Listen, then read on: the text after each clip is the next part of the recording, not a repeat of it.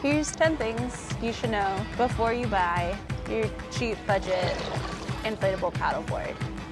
Here we go.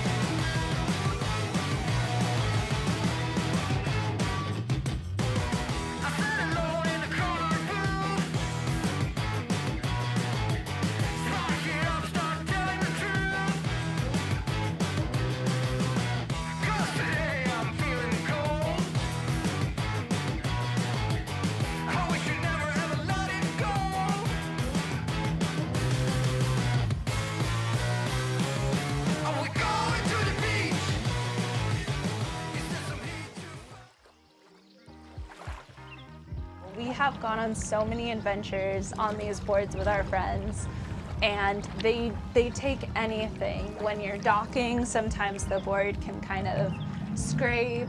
Just when you're putting it away and into the bag, it's kind of taking abuse. These things take abuse so much better than Any fiberglass uh, board would. Yeah, than a hard board. That being said, too, we've even um, bumped them into like piers, and no pops, no dents, no nothing. Yeah. Yeah. Yeah, they come with a repair kit. We have never had to touch that.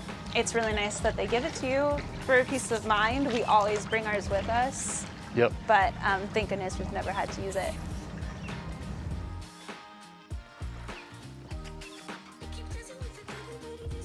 So these have weight capacities, and each one's rated on every single board. You want to take the entire payload capacity and then take off 25% of that weight and don't exceed that. And that would include total everything, so your body weight, any snacks or drinks or bags you want to bring with you, any camera equipment, Passengers. passengers, uh, furry friends. Um, if you want to go fishing off of them, make sure that that fish that's going to pull you isn't going to be too heavy either. Um, yeah, we've Yeah. had some um, of our buddies come with us, and we've had people well over 300 pounds paddle with us, no problem, and they've had a lot of fun. yeah. It just sits lower in the water, um, so your ankles will definitely be getting wet uh, if you're exceeding that capacity. But I bet you if Sarah and I stood on this board together, either one, we'd be fine. Oh yeah, we should try that. Yeah, we'll do that. Okay. definitely taking on a little more water. So 217 plus, you know, however little extra. These are absolutely the cheapest way to have a water faring vessel. I got this one for 230. Maybe at the time when I looked at it recently, it was I think it was like 349. 349. But I'll I'll, I'll check that, um, and we'll put it up on the screen.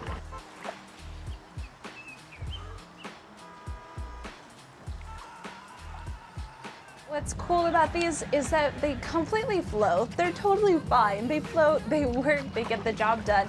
We bought a spare just because we wanted to paddle with our friends. be able to invite even more friends along, which we wouldn't be able to be in a position to do if they were $1,400.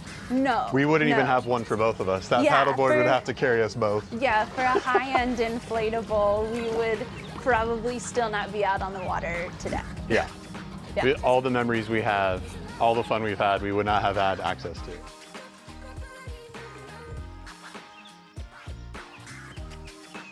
These are extremely portable. They're so portable. You can fit them in the back of a car. You can fit them under a sink. You can fit them in a closet. Fit them in a shed.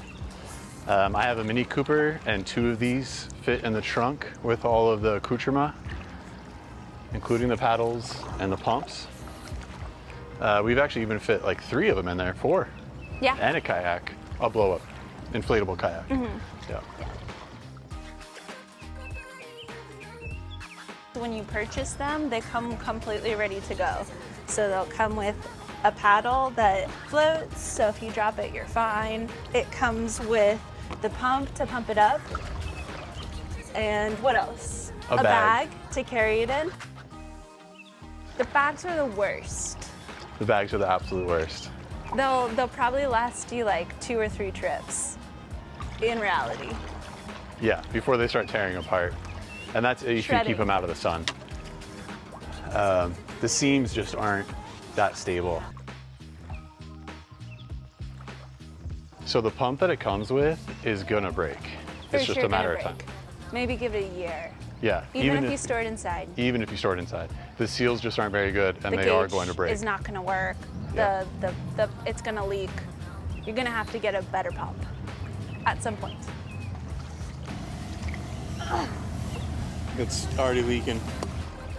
So our recommendation would be to use the pump for as long as it lasts. And then once it breaks or once you get too tired of pumping things up for yourself, look for some other options. They have pumps that you can use your car battery to pump up with, or the one we have is a rechargeable battery operated pump and Effortless. it's effortless.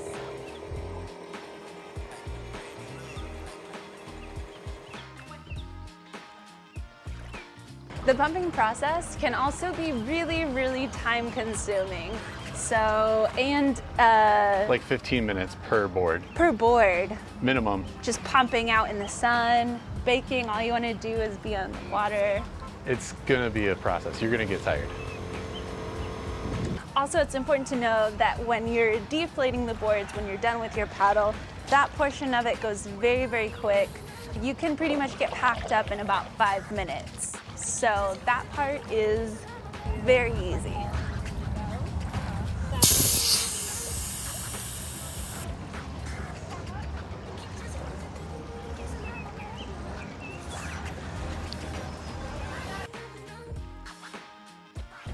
Have three inflatable paddle boards and one inflatable kayak, and we don't have issues with the valves in any of those. Um, two of them are secondhand, one is brand new from Amazon, um, and we've never had an issue with that.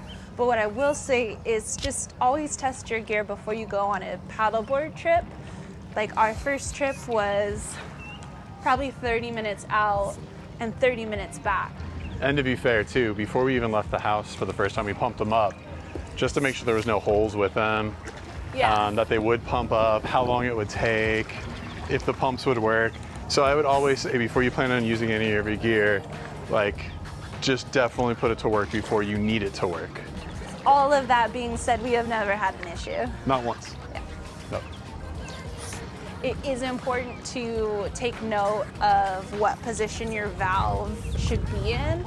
They, they push down or up, Depending on which model depending you have. on what. They're not consistent they're across not, valves. They're not consistent. We have both styles, so just figure out when you're pumping, let some air out to figure out which way the little button inside the valve, which way that should uh, be. There's nothing more demoralizing than thinking you're doing it and then you pull the pump off and all of a sudden half of the air came out. And it comes out really quick underneath force because these are not toys, these are real. And when you're fighting for those PSIs, when you're using your own pu- pump up, um, it's a lot of work. And so every little PSI counts. It's, it's some serious calories.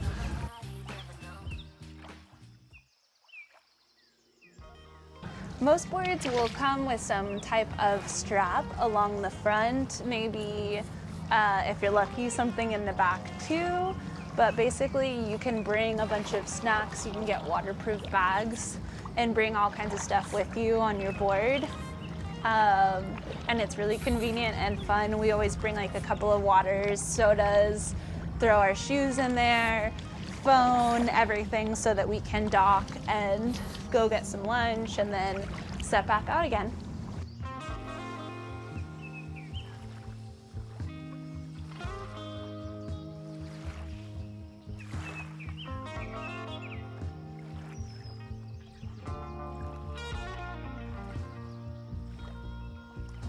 If you were thinking about getting out on the water and you've been looking at making an investment into a seawater vessel, these inflatable paddle boards that you can find, um, whether it's secondhand or off of Amazon for under 300 bucks, are totally worth the investment.